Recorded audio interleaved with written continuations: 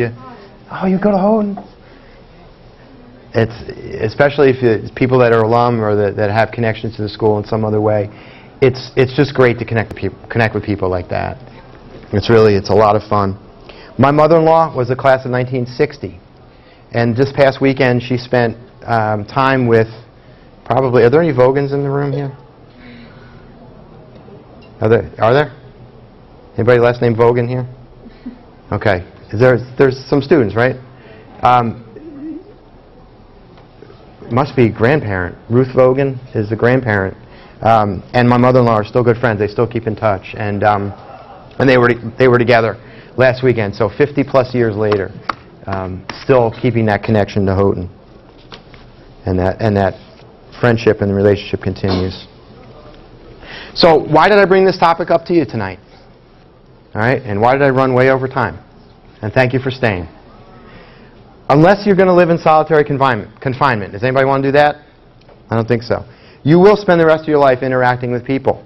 Okay, it's going to be basically on a minute-by-minute basis. And as you do that, some people you're going to be around for just a short period of time. Some people you get the elevator speech and that's it. But that may lead to something else. Others, again, you're going to build in, in relationships for, for a lifetime. With the opportunities that you have now in front of you and what you know of now and those to come, choose, choose carefully. Think about those things that you're going to pursue, that you're going to go for. Think about those things you're going to walk away from. Um, and seek out those that are going to support you. Again, back to the issue of mentoring here.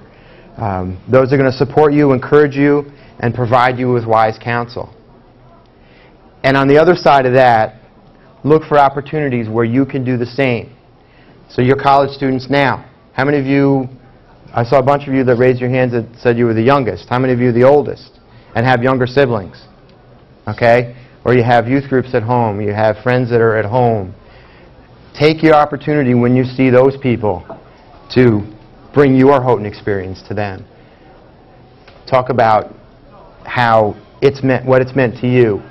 Sort of open them up. That gives you an opportunity maybe to be in that mentor role or that sort of teaching role uh, with those around.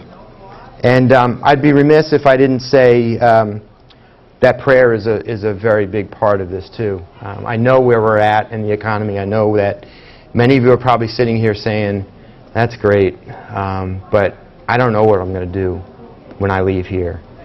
And um, just remember the words in Jeremiah that God, God said, I know the plans I have for you. Just remember that. Um, he does have a plan for you.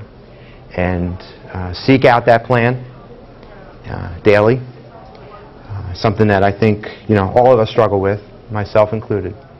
But um, really look for, for His direction in your lives. And, um, and uh, you will see it